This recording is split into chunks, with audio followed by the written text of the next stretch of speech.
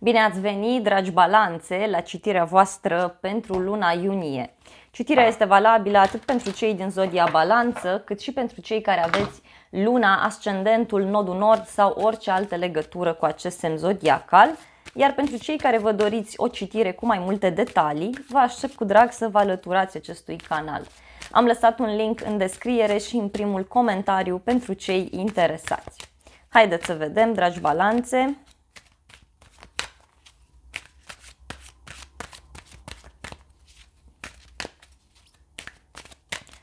Voi începe cu o carte oracol și apoi o să văd ce se întâmplă pe plan personal, dragoste, familie, prieteni, dar și pe plan profesional, bani și carieră.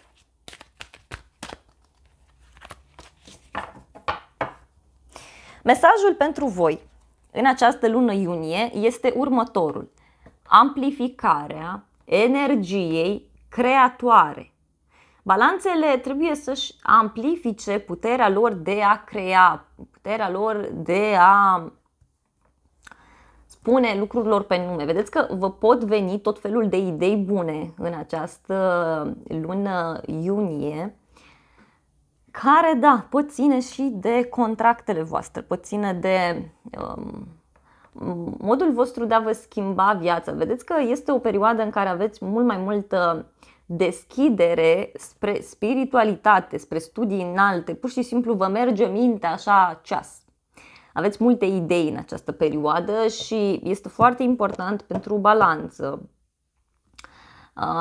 să înțeleagă faptul că urmează o lună iunie în care spre sfârșit da, cumva de pe 22 încolo, chiar puteți să vedeți și roadele muncii voastre. Deci voi creați, mergeți mai departe, pentru că începând cu data de 22 iunie, puteți avea un moment special. De asemenea, vedeți că este o lună nouă, pe 30 iunie, înseamnă oracului, iar asta înseamnă pentru voi un moment înalt. Asta înseamnă pentru voi un moment în care puteți da drumul unui proiect pe care vi l-ați dorit voi de mult timp. Și abia acum aveți ocazia să spuneți lucrurilor pe nume, dar ar fi cazul să, asta ar însemna să renunțați sau să schimbați ceva din familia voastră sau ceva ce ține de casa voastră, de trecutul vostru.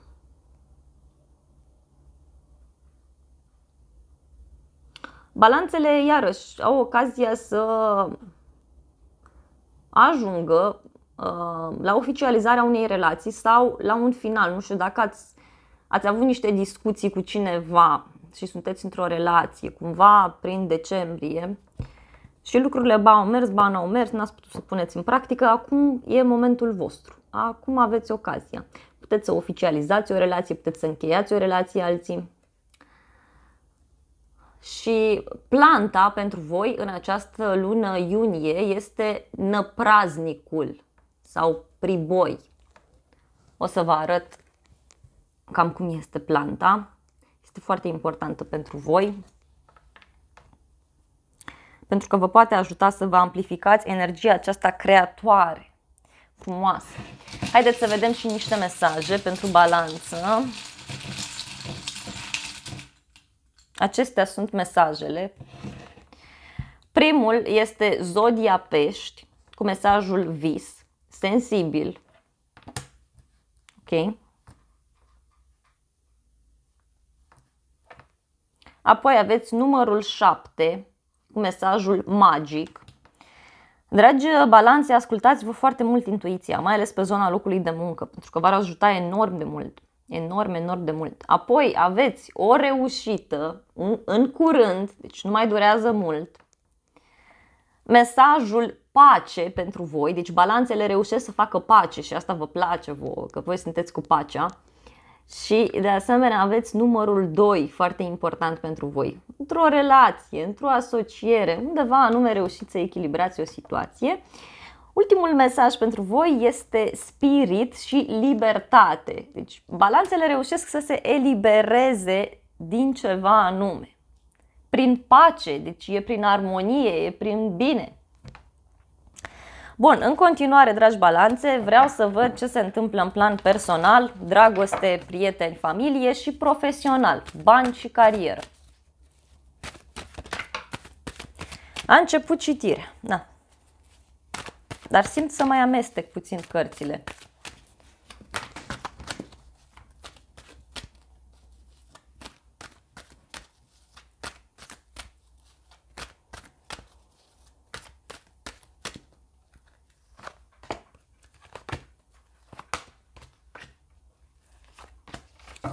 Energia generală pentru balanță în această lună iunie este cavalerul de monede și cu asul de spade în spate. Dragi balanțe, voi reușiți să găsiți o soluție la o problemă și parcă totul funcționează atât de bine de nici măcar n-ați visat. Cavalerul de monede reprezintă seriozitate, ceva ce se mișcă încet și sigur. Un prieten poate să aibă un rol important o decizie pe care o luați voi în legătură cu locul de muncă în alte cazuri.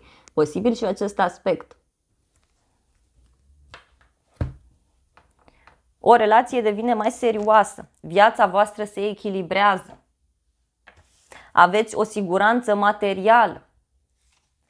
Prima carte pentru balanță, situația în care voi sunteți acum, este turnul. Și probabil unii vă aflați într-un moment în care tot cad acolo ziduri, cărămizi din viața voastră. Poate o relație se află în degradare, se află într-o perioadă în care lucrurile se încheie. Um, în alte cazuri, poate fi un moment în care vă apucați de făcut schimbări în viața voastră personală și voi sunteți cei care dinamitați acest turn. În alte cazuri.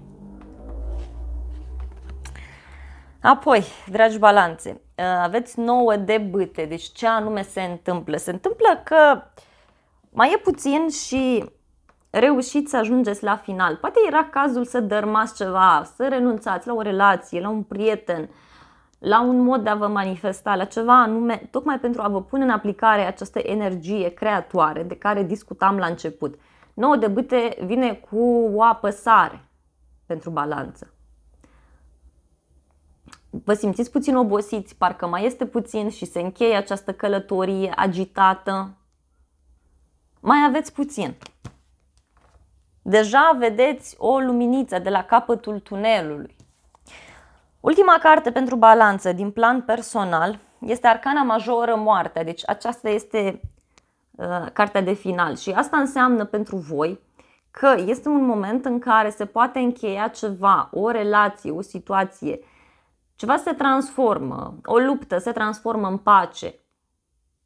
Se încheie o relație. Vă transformați viața. Pentru că vine la pachet cu acest cavaler de monede care vorbește despre faptul că o relație poate deveni mai stabilă, mai serioasă. În alte cazuri, puteți să cunoașteți o persoană nouă sau să finalizați ceva, dar într-un mod amiabil, într-un mod cu pace într-un mod frumos.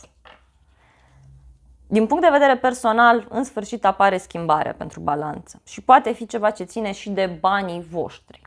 Apoi, profesional, prima carte, situația în care sunteți voi, 3 de monede. Aici cred că lucrați într-o echipă, lucrați într-un grup cu cineva anume. Îi învățați pe ceilalți, îi ghidați pe ceilalți, le spuneți ce să facă. Ceilalți, nu știu, vin la voi, vă întreabă.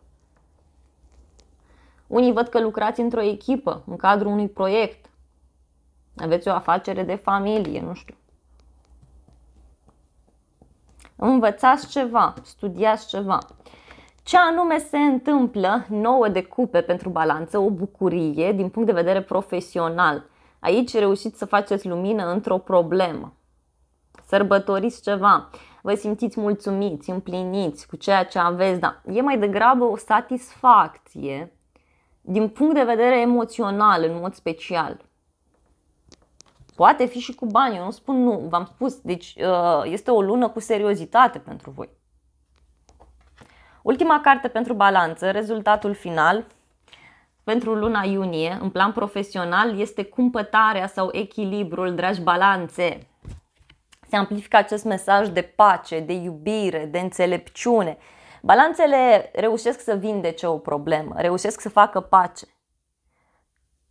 Aceasta este zeița Iris, dacă vă ajută cu ceva.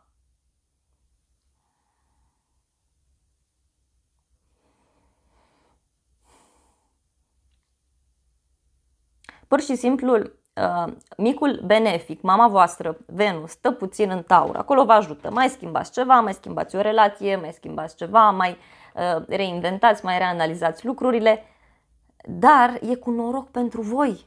E Venus acolo, totuși. Și apoi pur și simplu urcă mai sus pe cer și vă oferă noi deschideri, noi principii de viață.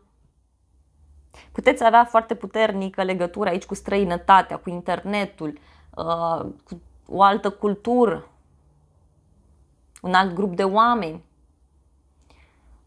Pentru cei care aveți o problemă de sănătate, acum vă puteți însănătoși, puteți să găsiți o soluție foarte bună Vedeți că la locul de muncă este un moment foarte bun să încheiați tot felul de contracte amiabile în această lună iunie. Foarte frumos și foarte bine pentru voi, repet. Dar vedeți că problema la voi și unde trebuie voi să lăsați odată în spate și să schimbați um, este familia voastră, casa voastră. Trebuie să vă detașați puțin de acolo. Vedeți că momentan nu vă bazați pe persoanele apropiate vouă, în general vorbind în acest an sau, mă rog, în general vorbind, uh, în general, încercați să vă bazați, dragi, dragi balanțe, pe ideea aceasta de a închide. Voi puteți să închideți multe lucruri în acest an, în această perioadă. Și acum e momentul vostru. Uh, cine știe, poate să riscați, să faceți tot felul de investiții, să vă apucați să